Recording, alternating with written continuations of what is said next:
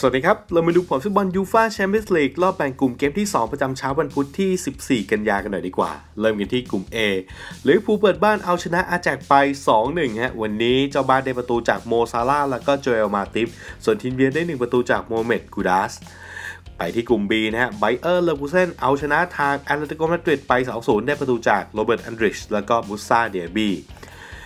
FC ปอร์โตก็เปิดบ้านแพ้ให้กับคลับบรูชครับ ยับเยินครับ 0-4 ทีมเยือนได้ประตูจากเฟร์รานจุตกลาครับ ยิงจุดโทษเข้าไปที่เหลือมาจากคามาลโซวา อันเดรียสสคอฟโอลเซนแล้วก็อันโตนิโอนูซากลุ่ม C นะวิกตอเรียพัลเซนแพ้ให้กับอินเตอร์ไป 0-2 ทีมเยือนได้ประตูจากเอดินเชโกแล้วก็เดนเซลดุมฟรีส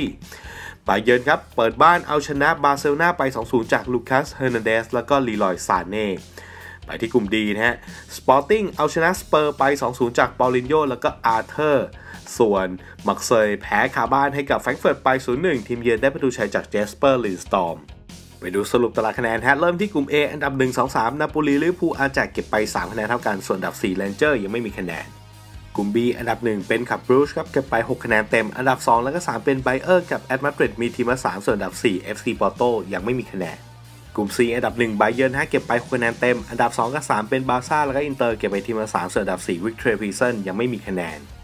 กลุ่ม D อันดับ1 Sporting ฮะเก็บไป6คะแนนเต็ม อันดับ 2 แล้วก็ 3 เป็นสเปอร์กับแฟรงก์เฟิร์ตเก็บไปทีมละ3ส่วนอันดับ 4 มาร์เซย์ยังไม่มีคะแนน